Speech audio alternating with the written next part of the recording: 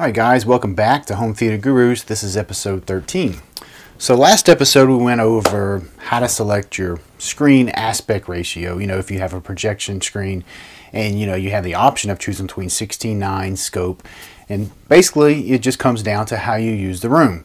No one can tell you if you're you're right, you're wrong. I mean, that's personal opinion. However you use the room the most, you know, that's going to lead to your decision that you're going to make and what kind of screen aspect ratio you're going to use. But today we're going to go over 16:9 if you notice, you know, flat screen TVs and everything else that's in the living room, they're all 16.9.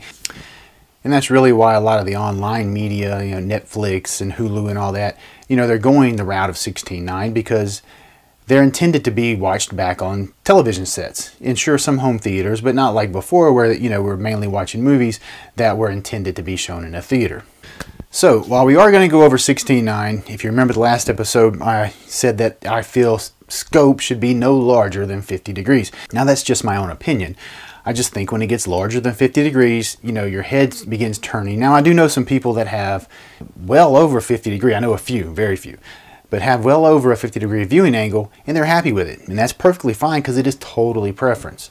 I just know for myself, you know, when it gets towards the 50 degree range, especially 16.9. I do not want 16.9 that big. But scope, I can handle it at 50, but it's getting a little too big for me. But 45 I think is the sweet spot. But anyway, we're going to start off with what THX recommends.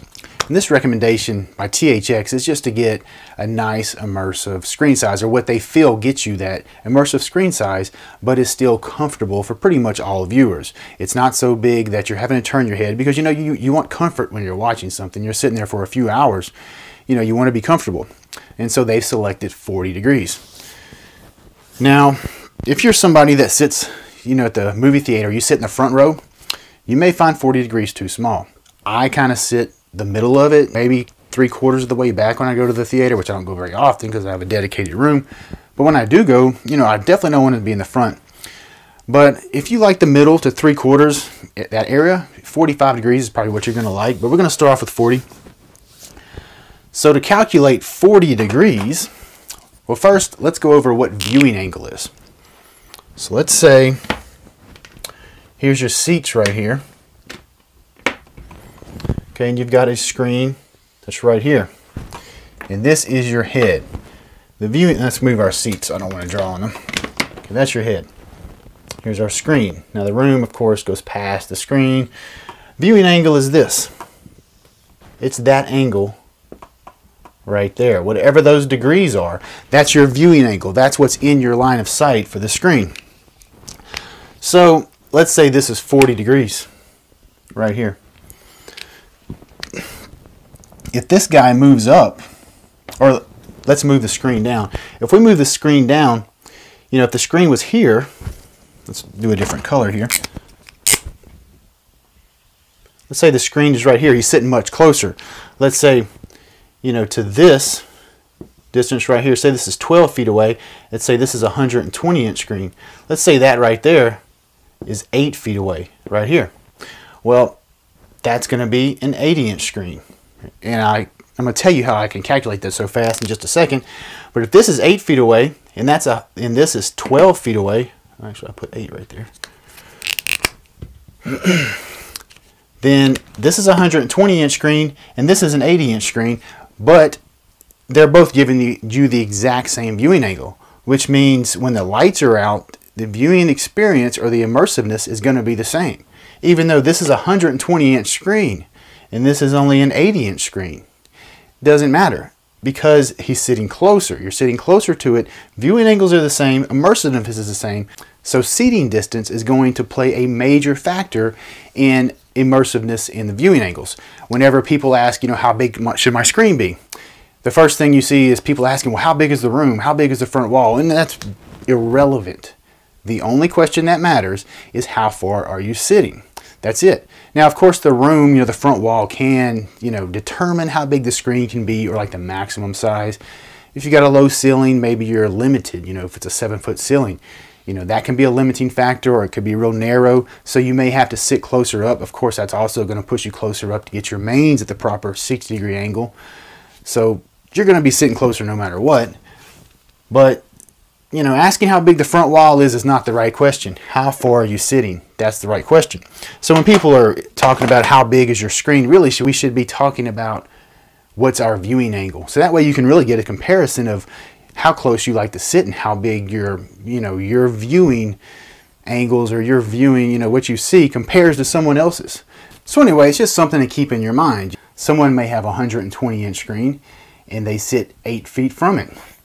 And so now they've got probably a, you know, 48 degree viewing angle or something like that. And someone else could have a 165 inch screen. You think, oh my gosh, it's huge, but they may sit 20 feet away. And now and they're in the upper 30s for a viewing angle and actually it's quite small for, because of their seating distance because they're so far away and their viewing angle is small. So, you know, if you were to have the lights out, that 120 inch would be a much more immersive experience than that 165 inch screen. Screen size only means so much. When the lights go down, that's really what matters. So anyway, let's look at how to determine or how to calculate the THX 40 degrees viewing angle. All right, so we're gonna say this is a 120 inch screen. Now, some people like to go with, but we're gonna go with diagonals because that's what my formulas here are based on and that's also when you go purchase a TV like say you buy an 82 inch TV or a 70 inch TV you're purchasing the diagonal. You're not purchasing it based on width and that's why we're not going to use width. Okay let's say here's our screen. It's of undetermined size yet. We don't know. But we do know that here's our head and we're going to be sitting 10 feet back. So we've already gone over the last episodes, um, so we, we know where we're going to sit based on modal behavior in the room. And we've got our main spread 60 apart where we want it, but now we need to find out what size screen we want to go with. So if we want to know the THX recommendation, what I think is the minimum you should have, you know, if you have like a theater or something like that, or you're really, your goal is immersiveness. So for 40 degrees, let's say we're 10 feet away, Okay, we're going to multiply the times 12 so we can get inches. So 10 times 12 is 120. So it's 120 inches from here to there. So then we're going to multiply 120 times 0.84. So let's do that real quick. And that's 100.8 inches. So we're just going to say a 100 inch screen. Now this is diagonal. So a 100 inch screen. So at 10 feet, we need a 100 inch screen. Now let's say we were sitting at 12 feet and 12 times 12, because we'd have to find the inches, is 144. So that's 144 inches if we were sitting at 12 feet. Let's put another head here at 12 feet times 0.84. And the reason I'm doing this twice is I'm going to show you all a little trick so you don't have to you don't have to calculate it out. 144 times 0.84 is 120.96. You see what happened there? 120.96. So 121.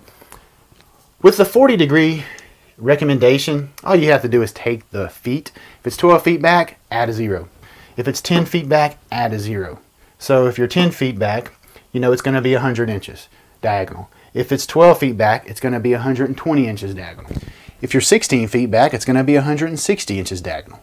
So just take your feet, add a zero, and convert it to inches, and that's how big the diagonal needs to be on your screen to get a 40 degree viewing angle. 16.9 now.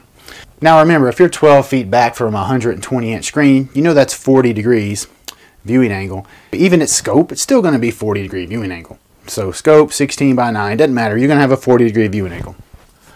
All right, so quick and easy. 40 degrees, we don't have to think about it. We just take the feet and add a zero at the end, and that's how many inches we need diagonally.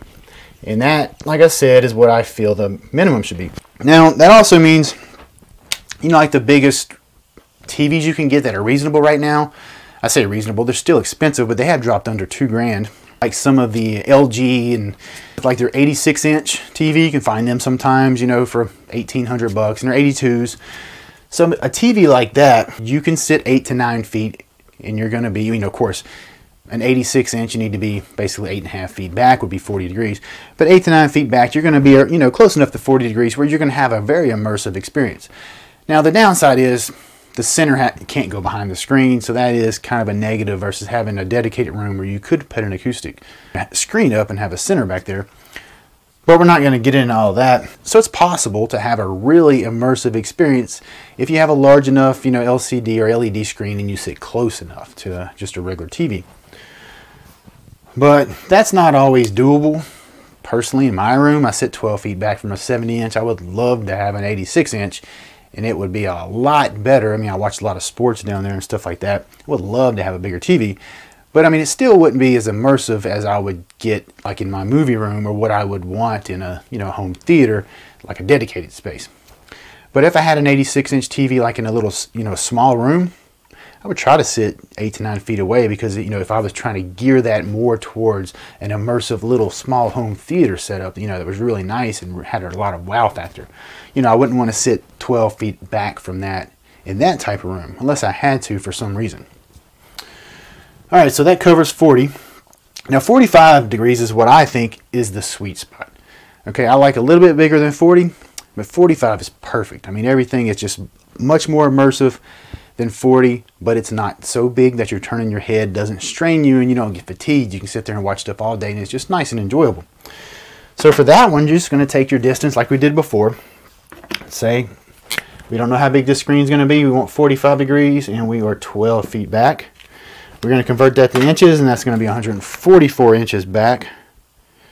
And we're going to multiply it times 0.95 So that's 137 inches for this right here. Of course, we would have to round, you know, to something, unless we're doing a DIY screen where it's custom, we'll have to go with just a generic size like 135. But 137 inches is what we come up with. And that's going to put you around 45 degrees. So if you're 16 feet back, you would just, you know, 16 times 12 find your inches away from the screen and then multiply it times 0.95 and that's going to give you the di diagonal you would need from you know 16 feet away to get that 45 degree screen or viewing angle. Now 50 degrees, like I said, is what I feel it should be the max. It's where I get to the point to where this is, it's almost wearing me out. It's not fun anymore.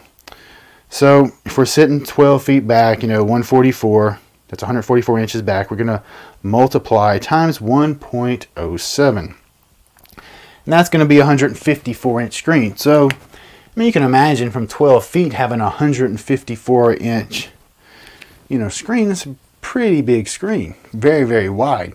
Now, of course, it's going to be tall too in 16.9, but even in scope, from 12 feet, 155 inches is pretty big.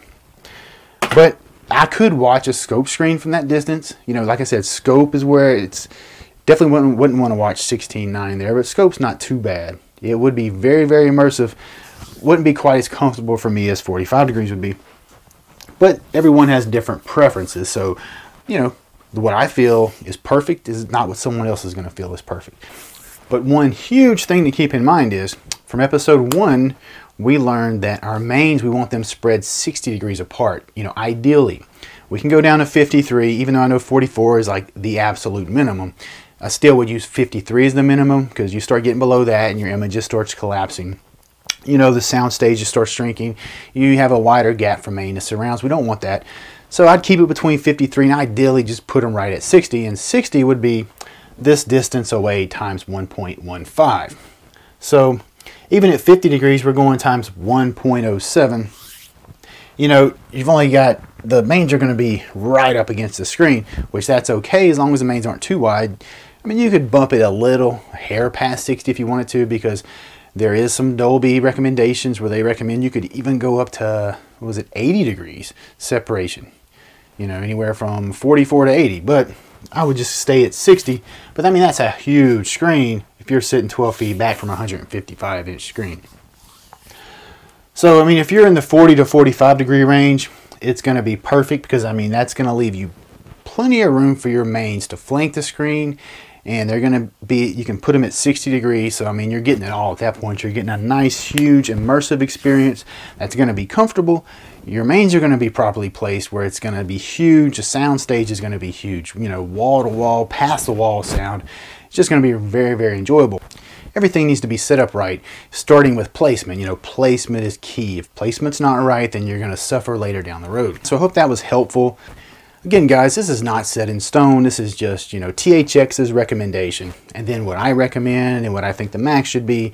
But just understand, like if you were to get a professional room plan, we would usually start with a 40 degree layout, a 40 degree viewing angle, because, you know, THX selected that for a reason. You know, we can put that in there and you know it's going to be nice and immersive and you're not going to have people complaining that it's too big or, you know, it's fatiguing, you know, they want to scoot the chairs back. That's not going to happen. It's a very, very safe angle to use. All right, guys, so that's going to be it for this one. Don't forget to hit that subscribe button, hit that notification bell so you know when the next episodes come out.